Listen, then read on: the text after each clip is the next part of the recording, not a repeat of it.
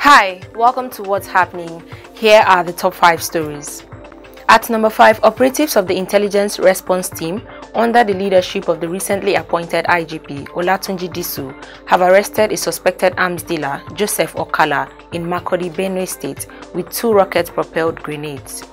The 78-year-old, who claimed to be a farmer, was apprehended by the IRT at Ajetachi village, Makurdi, where he lives with his nine wives and 36 children. Okala was among the 39 suspects paraded by the IRT in Abuja on Monday. According to the spokesman of the Nigeria Police Force, Frank Mba, the suspect was arrested on June 4th after two weeks of intelligence and surveillance.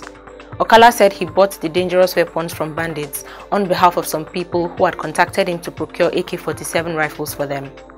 The police said the farmer was involved in the sales and resales of arms in Taraba and Benue states, noting that his activities had contributed to the proliferation and equipping of bandit groups in the region.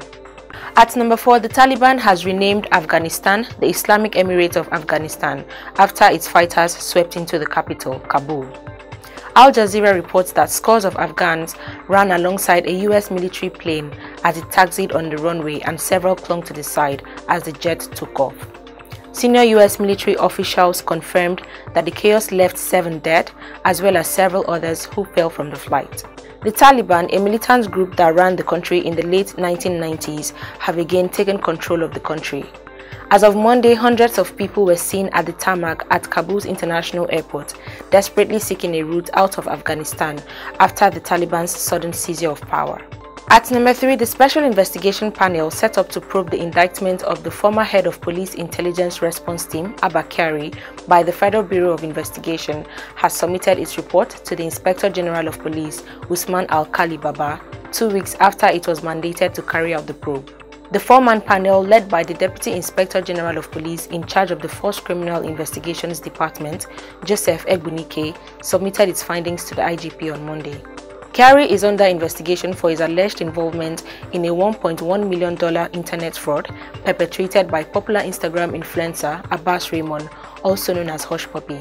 The IGP had on August 1st recommended the suspension of Kyari and also set up the SIP to investigate the allegations against him.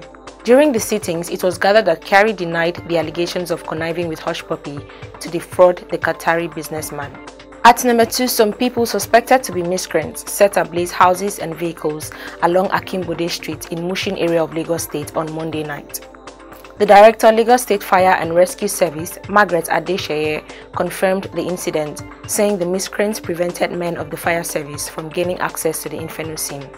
Adeshe said the Lagos State Fire and Rescue Service Command and Control Room received an emergency alert that houses and vehicles were being burnt along Akimbode Street off Olateju Street, Mushin, Lagos. She urged members of the public not to panic, that the police and other security agencies had been alerted to intervene and create access to the scene for firemen to kill the ensuing fire. At number 1, a former Nigerian Deputy Senate President, Ibrahim Mantu, is dead. A family source told Daily Trust that Mantu died at about 2 a.m. on Tuesday at a private hospital in Abuja after nine days of sickness and isolation. The former lawmaker is expected to be buried later today in Abuja.